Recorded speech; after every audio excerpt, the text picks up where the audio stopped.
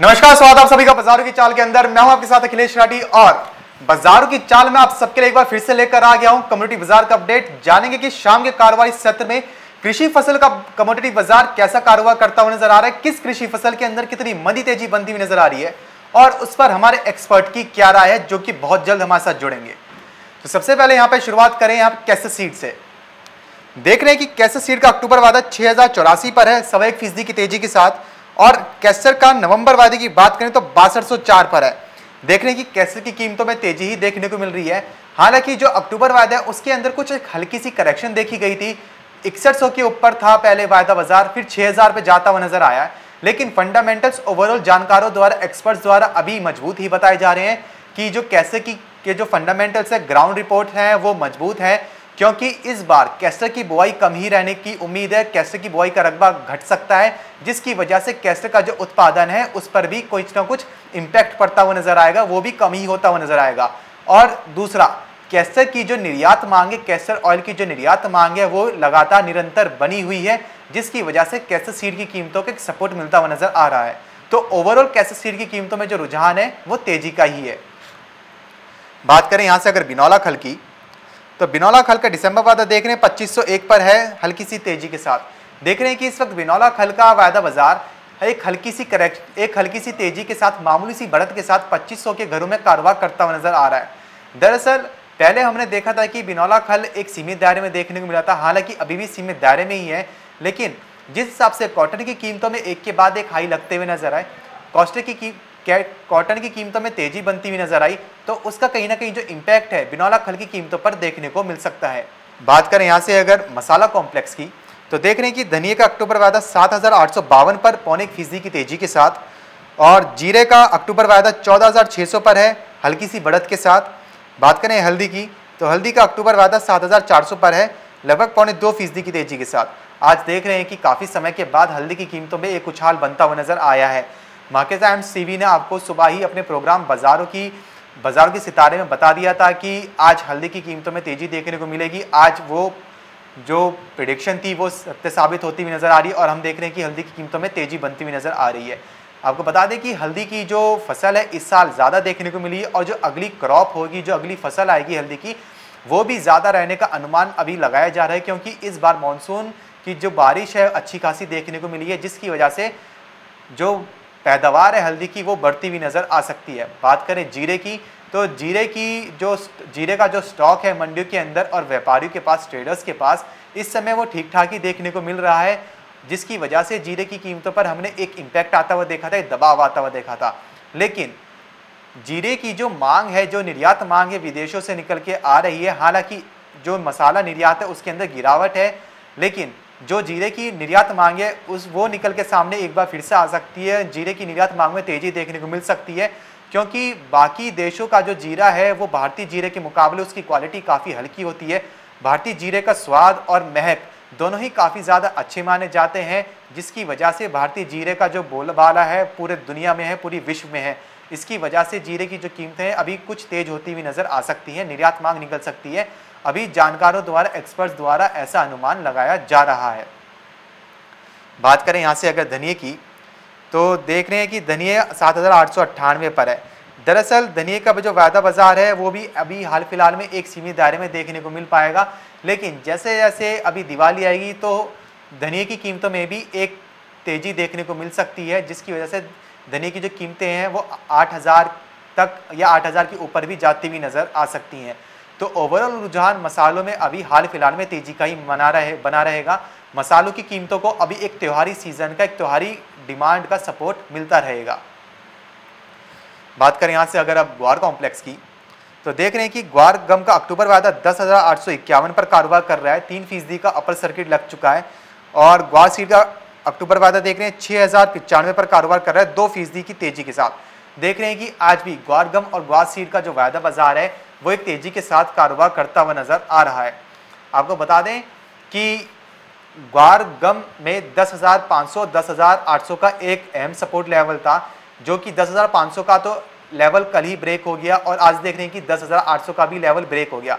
अगर इन लेवल्स पर सस्टेनेबिलिटी बनती है और डेली बेसिस पे क्लोजिंग होती है तो ग्वार की जो कीमतें हैं वो धीरे धीरे 11,000 के आंकड़ों की ओर जाती हुई नज़र आएँगी।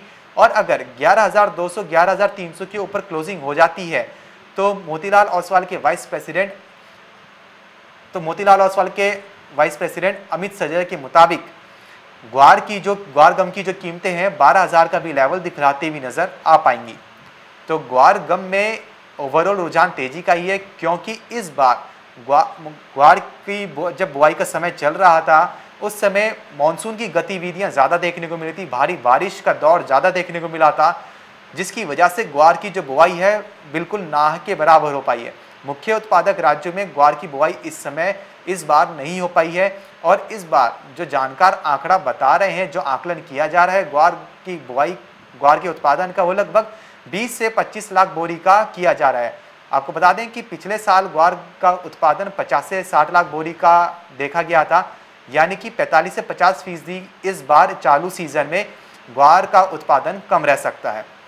दूसरा, ग्वार की इंडस्ट्रियल डिमांड भी ठीक ठाक निकल के सामने आ रही है और ग्वार का जो पुराना स्टॉक था, अब वो धीरे धीरे वो खपता हुआ नज़र आ रहा है, जिसकी वजह से ग्वार की कीमतों में तेज़ी बनती हुई नज़र आ रही है। बात करें यहाँ से ग्वार सीड की तो ग्वार सीड में भी जो जानकार है, वो तेज़ी का ही रुझान बता रहे हैं। ग्वार सीड में भी बासठ सौ, तिरसठ सौ के भी लेवल्स एक बार फिर से देखने को मिल सकते हैं। तो ओवरऑल रुझान ग्वार की कीमतों में अभी तेज़ी का ही देखने को मिलता रहेगा। बात करें यहाँ से अगर खाद्य तेल की तो खाद्य तेलों में हम देख रहे हैं कि लगातार सरकार एक के बाद एक खाद्य तेलों पर फैसला लेती हुई नज़र आ रही है। सरकार ने पहले एक पोर्टल पर जानकारी देने के लिए व्यापारियों को कहा कि सरकारी पोर्टल पर सारे के सारे व्यापारी एक्सपोर्टर्स मिलर्स सारे के सारे अपने, उनके पास जितना भी स्टॉक है, सरसों का, सोयाबीन का उसकी जानकारी देंगे, अपने तेल तिलन के स्टॉक की जानकारी देंगे।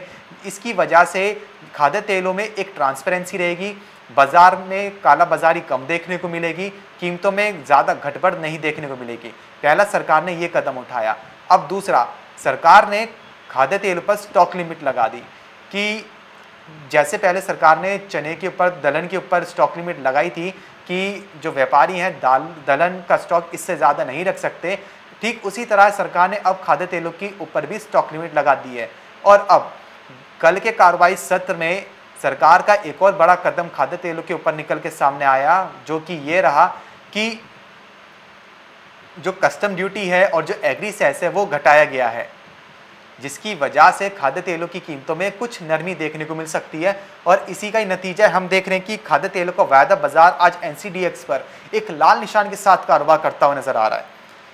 देख रहे हैं कि यहाँ पे सरसों का नवंबर वायदा आठ हज़ार बहत्तर पर है। एक फ़ीसदी की गिरावट के साथ रिफाइंड सोया तेल का अक्टूबर वायदा बासठ सौ तेरे, बारह सौ तिरसठ पर आधे फ़ीसदी की करेक्शन के साथ और सोयाबीन का अक्टूबर वायदा तिरपन सौ इक्कीस पर है, एक फ़ीसदी की करेक्शन के साथ। देख रहे हैं कि खाद्य तेलों का वायदा बाज़ार आज एक लाल निशान पर कारोबार करता हुआ नज़र आ रहा है। दरअसल, सरकार एक्शन तो ले रही है, एक के बाद एक। सरकार चाहती भी है कि उपभोक्ताओं को त्योहारी सीज़न में खाद्य तेलों की बढ़ती कीमतों से राहत मिल सके। लेकिन जो कीमतें हैं, वो कहीं ना कहीं थोड़ी बहुत ही कम होती हैं। पहले जो पहले कीमतें थी, साल भर की, अगर पैसा, अगर साल भर पहले की बात करें तो साल भर पहले सरसों तेल का जो एक लीटर का दाम था, वो नब्बे रुपये सौ रुपये लीटर था। मैक्सिमम एक सौ बीस रुपये अगर कोई अच्छी कंपनी का लेते हैं। लेकिन आज देख रहे हैं कि 200 का आंकड़ा पार कर चुका है। दो सौ रुपये प्रति लीटर का आंकड़ा पार कर चुका है सरसों तेल। और अगर रिफाइंड की बात करें तो रिफाइंड भी लगभग इसी दायरे में ही देखने को मिलते हैं। हालाँकि इतने महँगे नहीं हैं, लेकिन उससे कम है। कीमतें सरसों तेल के से कम है, बाकी खाद्य तेलों की। लेकिन उनके तेलों में भी कीमतें बढ़ती, तेलों की जो कीमतें थी उनकी, वो भी बढ़ती हुई नज़र आई हैं, क्योंकि सरसों की कीमतें बढ़ी हैं। दरअसल, सबसे पहले सरसों की बात करेंगे खाद्य तेलों के अंदर।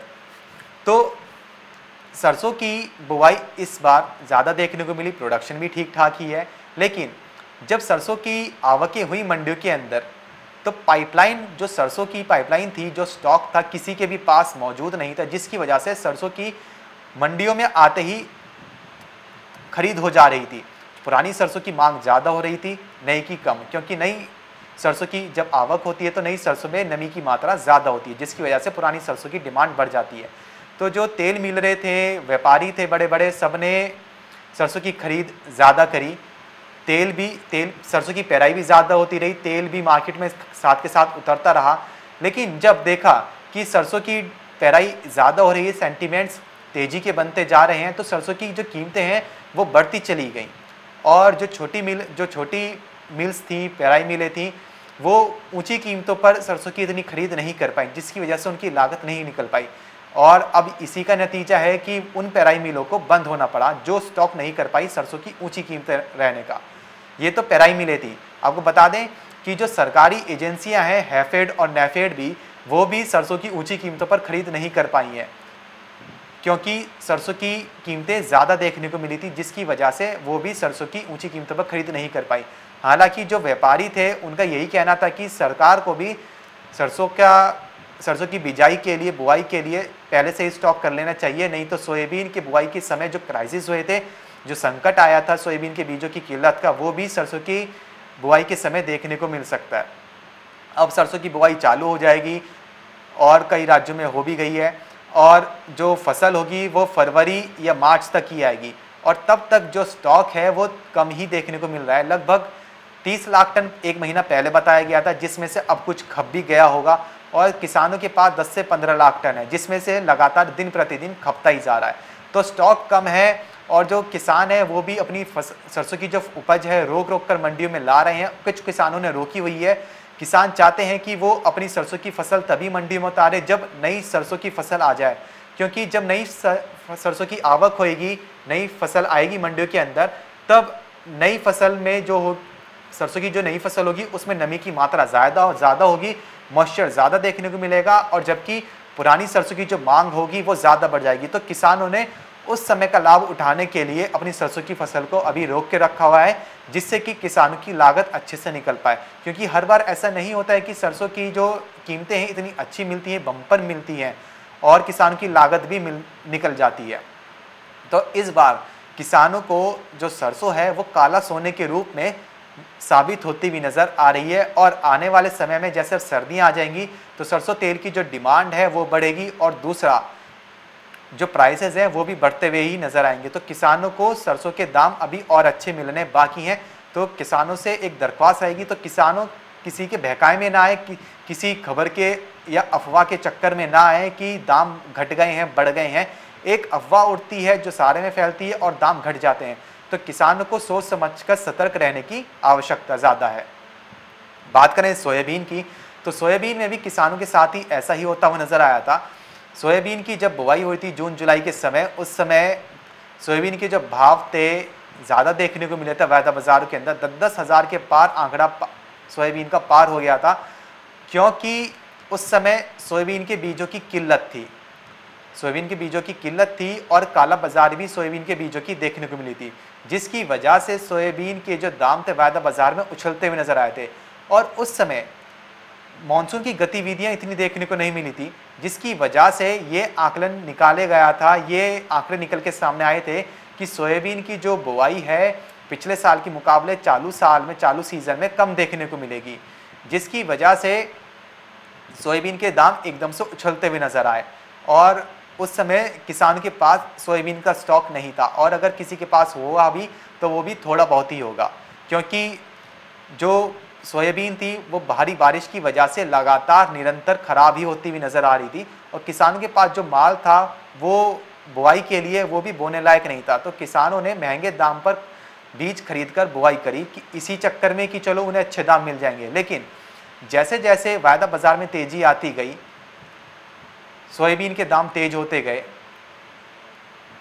ये भी जो खाद्य तेल के दाम थे उस समय वो भी तेज हो रहे थे सरसों के दाम भी तेज हो रहे थे जिसकी वजह से मार्केट्स के अंदर हल्ला बोल मच गया कि सोयाबीन के जो दाम है इस बार ज़्यादा मिलेंगे। और जिसकी वजह से खाद्य तेल की कीमतों में भी ज़्यादा तेज़ी देखने को मिल रही थी। हालाँकि किसानों को फ़ायदा उस समय नहीं मिला था क्योंकि किसानों के पास स्टॉक ही नहीं था।